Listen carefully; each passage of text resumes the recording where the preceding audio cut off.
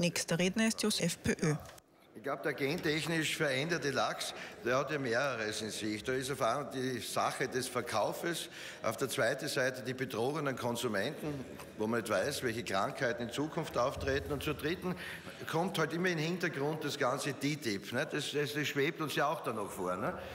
Und wenn also die heute von der FDA, also von der, wie heißt das, Foods and Drugs äh, Administration, wenn die also hier die Expertisen erstellen, die Zahlen zur Verfügung stellen und das reicht aus, ohne dass man bestimmte Studien macht, dann muss ich ganz offen sagen, dann ist es schon eine Dreistigkeit, wenn man sagt, der amerikanische Markt, wir von der Firma Aqua Bounty, ja, wenn die dann sagen, wir bringen das auf den Markt. Selbst dürfen sie diese Tiere ja gar nicht züchten. Das lassen sie in Kolumbien und in Panama machen. Und ich glaube, die ganzen Umweltsprecher und besorgten Menschen sagen durch eins, was ist, wenn so ein Tier, das also dort in diesen Bereichen gezogen wird, was passiert dann, wenn das auskommt und in die Ozeane kommt? Na, dann haben wir das Problem. Und da frage ich mich, wie die EU und etc. das kontrollieren wollen. Wenn der Fisch also im Atlantik schwimmt, dann muss ich ganz offen sagen, dann kennt er also die EU-Kontrollen einmal zum ersten nicht. Der kommt trotzdem mal auf die Speiseteller. Zum zweiten haben die, diese Lachse werden gentechnisch insofern verändert,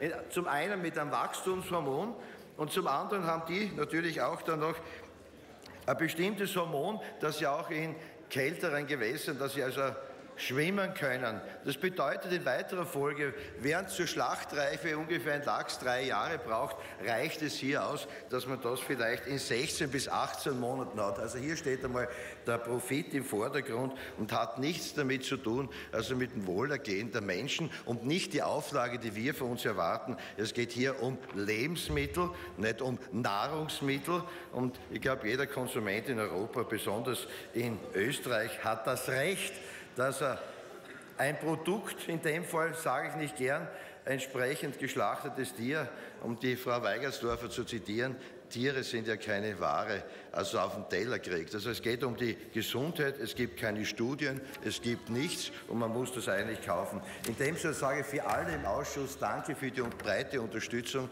und für die Zustimmung. Dankeschön. Es gehe um die Gesundheit, betont Josef Riemer von der FPÖ. Nächster Redner ist